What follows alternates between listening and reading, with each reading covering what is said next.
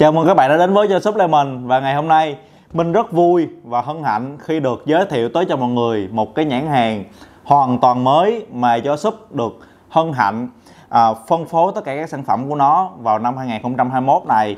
Và cái nhãn hàng đó chính là hãng Perfect Sport đến từ Canada. Và cái hãng này đã có cái thâm niên trong cái ngành sản xuất thực phẩm bổ sung dành cho người hoạt động thể chất thể thao là từ 2003 tính đến nay là tròn 18 năm.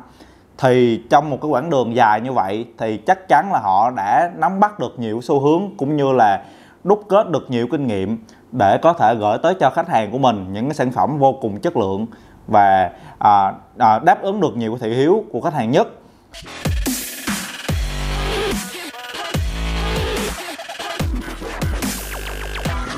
Và tất cả các sản phẩm ở dưới đây đều có chung một cái slogan mà Minh rất Minh cùng đội ngũ cho shop rất là tâm đắc.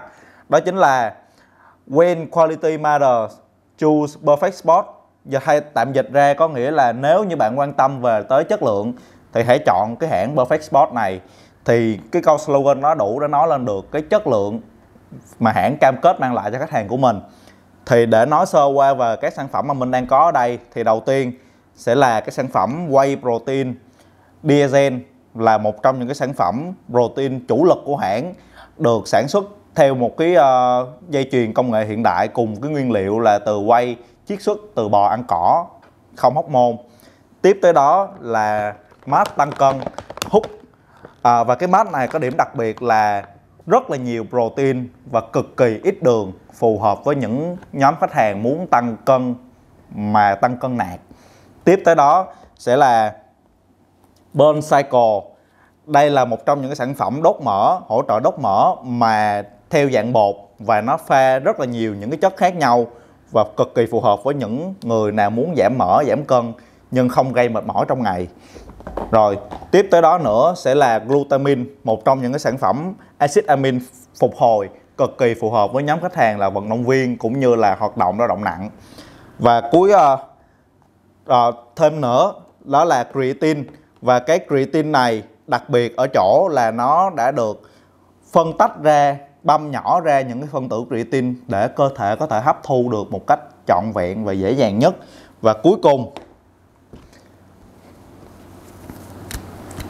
một cái sản phẩm mà mình nghĩ phù hợp nhất đối với cái tình hình à, dịch bệnh hiện nay đó chính là cái sản phẩm siêu immunity. Simunity là một trong những sản phẩm có vitamin C, vitamin D3 và kẽm giúp bảo vệ và tăng cường cái hệ miễn dịch của chúng ta giúp chúng ta có thể chống lại những cái tác nhân gây bệnh ở bên ngoài. Rồi và đây là Sonet và toàn bộ những cái sản phẩm mà cho shop sẽ phân phối tới cho mọi người trong cái lô hàng đầu tiên. Và vừa rồi mình đã uh, trình bày Sonet và tất cả các sản phẩm mà hiện tại cho shop Lemon sẽ phân phối về cái hãng Perfect Sport này trong thời gian sắp tới và nếu như các bạn muốn tìm hiểu thêm về cái sản phẩm này chi tiết hơn về công dụng cũng như là cái nguyên liệu của nó như thế nào thì Minh sẽ làm thêm những cái clip cụ thể hơn trong thời gian sắp tới. Xin mời các bạn sẽ à, xin mời các bạn à, đón chú ý đón xem. Rồi và lời cuối cùng xin à, cảm ơn các bạn đã quan tâm theo dõi và nhớ ủng hộ với số Lemon cùng Perfect Sport